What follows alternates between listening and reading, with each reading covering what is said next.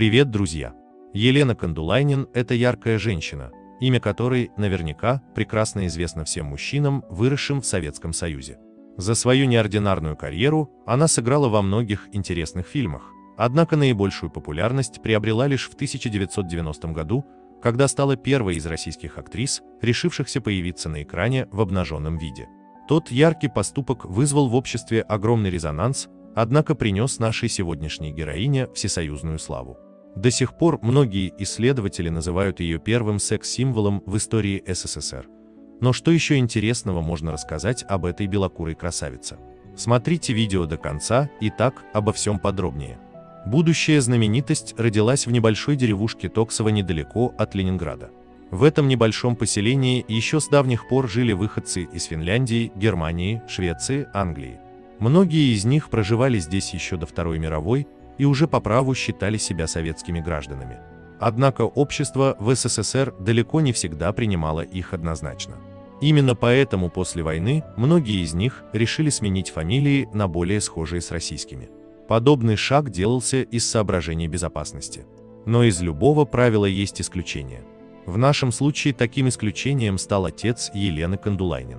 Будучи по национальности финном-ингерманландцем, он наотрез отказался открещиваться от своих корней и своего происхождения. И за это его сложно не уважать. Но подобный поступок имел и оборотную сторону. Постоянно чувствуя себя не такой, как все, наша сегодняшняя героиня нередко страдала от различных проявлений ксенофобии со стороны советских людей. По этой причине раннее детство было не самым радужным временем в жизни будущей актрисы. Большую часть времени она проводила в родном селе, пасла овец, коров, следила за курицами и кроликами. В школу приходилось добираться через лес. Друзей среди сверстников у Кандулайнин почти не было. В раннем возрасте главным увлечением нашей сегодняшней героини была музыка. Девочка делала неплохие успехи в музыкальной школе, а потому после окончания стандартной советской десятилетки ее родители решили отправить дочь в Ленинград где она могла бы продолжить заниматься любимым делом. Так наша сегодняшняя героиня оказалась в Ленинградском государственном институте театра, музыки и кинематографии. Здесь она начала обучаться на надирижерско-хоровом отделении, однако очень скоро в ее жизни произошел крутой поворот.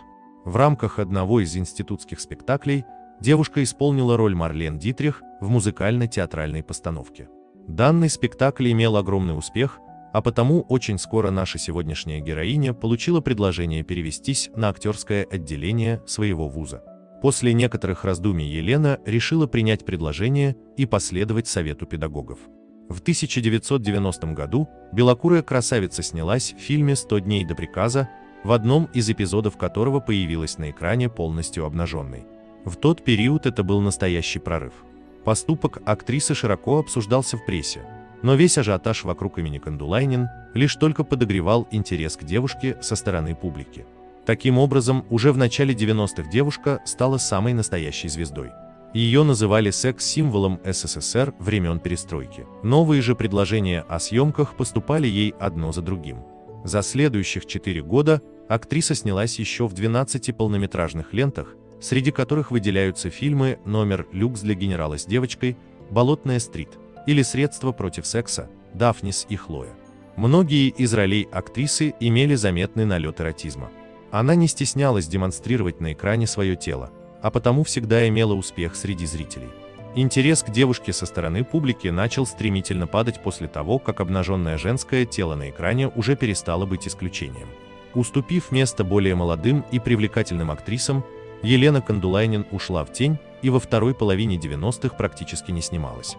В этот период ее постоянным местом работы стал Театр Луны.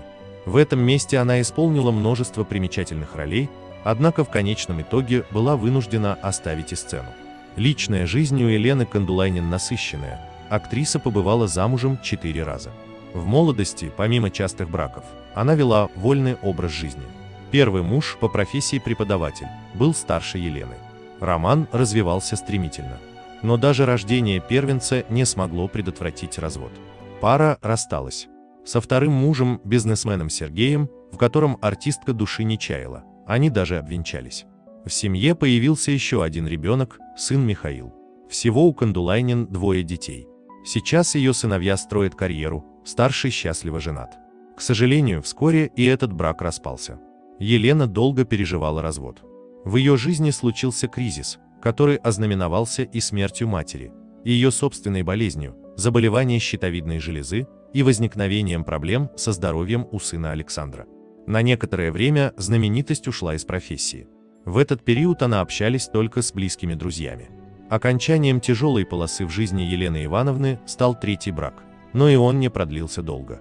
В 52 года актриса вновь вышла замуж за предпринимателя Дмитрия, который младше нее вдвое, но отношения вскоре завершились. С бывшими мужьями артистка старается поддерживать дружеские отношения. В интервью Кандулайнин как-то обмолвилась о том, что не прочь в третий раз стать матерью.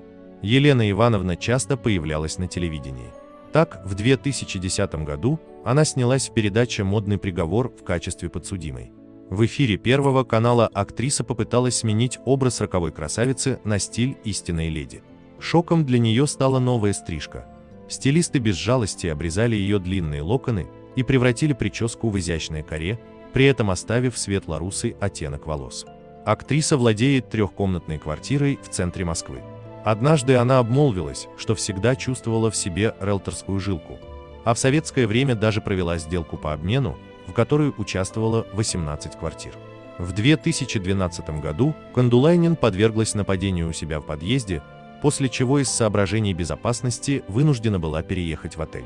Одно время актриса жила в гостинице, что полностью ее устраивало. Были в жизни актрисы, помимо супругов, и другие мужчины. На фестивале «Алые паруса» Елена познакомилась с коллегой Олегом Каменщиковым, который сразил ее вокальным талантом. Пообщавшись, артисты решили создать музыкальный дуэт «Кокон», который оказался востребованным у публики.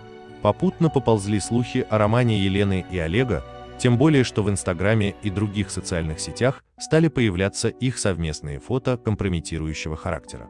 Спустя год, осенью 2017 года, актеры стали героями программы Дмитрия Шепелева на самом деле, во время которой обнаружилось, что Каменщиков не свободен. Он встречался с 22-летней учительницей английского языка Дарьей Соседовой. Во время эфира при помощи детектора лжи было доказано, у Елены и Олега были отношения.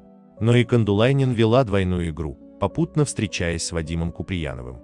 Молодой человек тоже пришел на передачу а осенью 2018 года в программе Андрея Малахова «Привет, Андрей». Она появилась в студии вместе с Богданом Титамиром, который в 90-е годы был популярным исполнителем, а сейчас занимается продюсированием. Зрителей волновал вопрос, что же было между Еленой и Богданом. На это Кандулайнин ответила, что было все, а Титамир подтвердил ее слова, сообщив, что пока весь мир с вожделением смотрел на фото артистки, он каждую ночь видел ее воочию. Делитесь этим видео с друзьями и берегите себя. А также не забывайте подписаться, поставить лайк и нажать на колокольчик, чтобы не пропустить новые видео.